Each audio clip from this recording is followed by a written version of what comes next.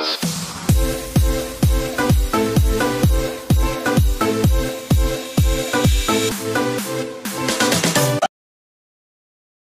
naman! Yun oh! Magandang magandang araw po mga kaswerte! Bago tayo magpatuloy, isang maswerteng lambing muna po sa inyong lahat. Pakisubscribe naman po ang aking channel, like, share, at pakipindot na rin po ang notification bell. Salamat po! pera sa MRT. Ayan.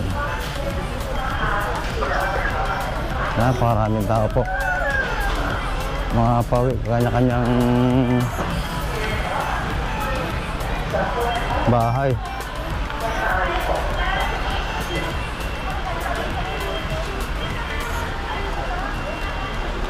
Ayan, ang daming tao pong pauwi na.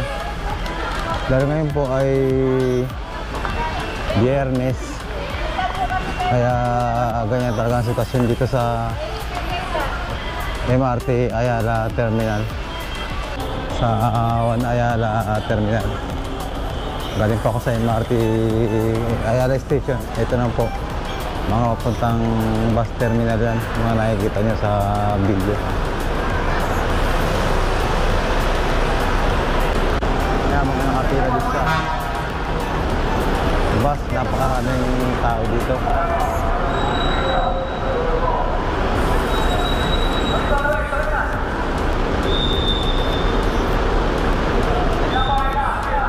Kaya makikita nyo, napakaraming tao magsisuwi yan. Dito sa One Ayala Terminal po. Ito ang pinakamagandang terminal kong nakita sa mga nakita ko. Dati po ito, doon lang sa kaya nito sa MRT Ayala sa baba. Pero ngayon, ito po. Ito naman may, kung mga nauboto naman po, ito mga makakainan dito.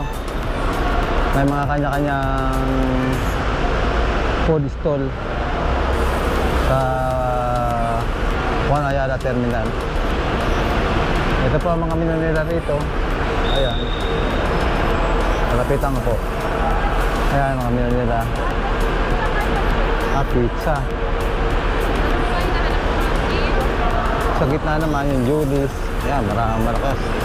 Dami namimili. Ito po yung Judy's. Kaya kung nauboto ang mga pasahero dito, may mga choices naman na pwedeng pagpilian ng mga pagkain. Tulad naman sa kabila, busy-busy rin. Ayan, nakikita nyo sa camera.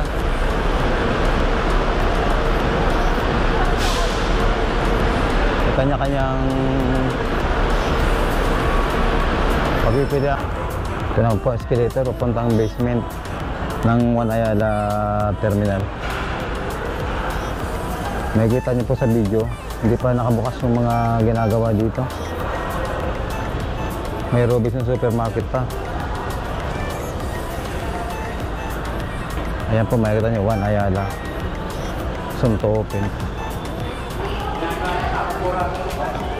Ayan, ito po ang basement.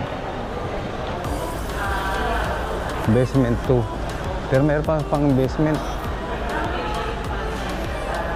Ito, may bangko pa rito bubuksan pero hindi pa siya ope- operation. Ayan.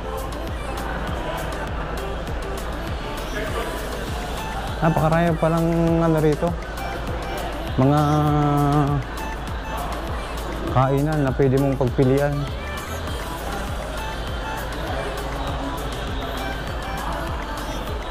Ayan. Henlen. Pero pag nagsi pagbukasan siguro itong mga mga ginagawa dito, tulad nitong BPI, tulad nitong General Roaster Zone nakalagay, roasting zone. Siguro lalong mas dadami tao dito.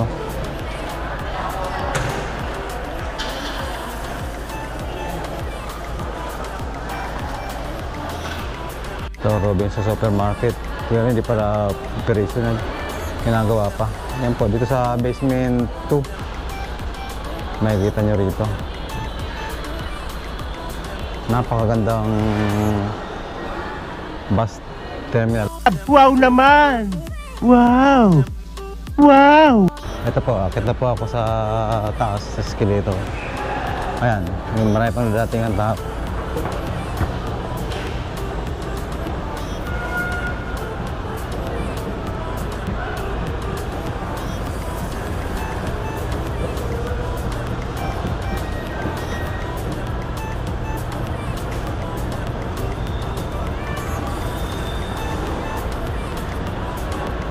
Ito, bus terminal na naman ako po. Ito, basement 1. Pero yung pinakambaba, hindi pa uh, gumagaan na. Nakasarado pa yung escalator doon. Kaya hindi ako bumaba. Hanggang basement 2 lang. Ito, pupunta na naman to ng ano, MRT Ayala Station. Na makita niyo po escalator. Ito po mga naglalatingan na to, mga pasayro po yan, mga um, buses dito. Mga kanya-kanyang pupuntahan. Ayan.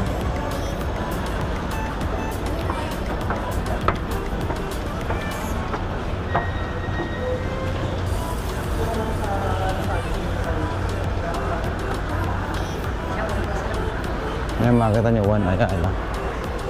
May aviation pa palang ubusan dito pero hindi pa operational. So hindi pa ito naman po ang ano ito naman po ang overpass sa puntang kabila sa Telos. Papunta ron sa McKinley. Isa kaya naman ba sa puntang The Port. Ito po yung overpass niya. Ito ang EDSA.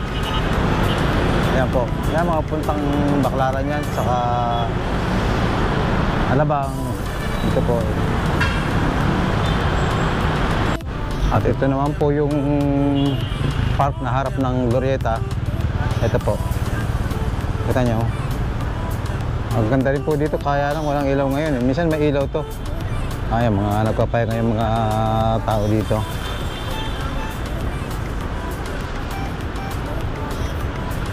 Ito po yung park ng Glorieta. Tapat ng Glorieta 5 sa Glorieta 4. Yan po.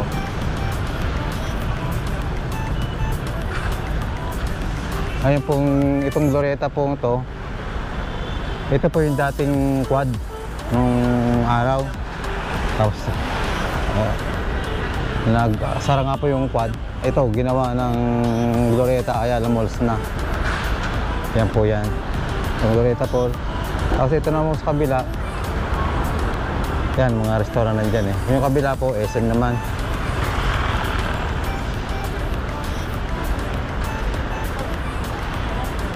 Ito po ang plaza ng harap ng Glorieta 4 sa Glorieta 5. Ito po ang park doon. Parang may ibit yata ang ginanap dito kaya nagliligpitan pa lang sila eh. Yan po. Yan po yung Glorieta 5 sa harap nun. Ayan. Yan po ang sitwasyon dito sa harap ng One Ayala Terminal. Yan po ang Glorieta po. Ayan. Nakikita niyo po, yun, maraming mga bikers, ay mga riders.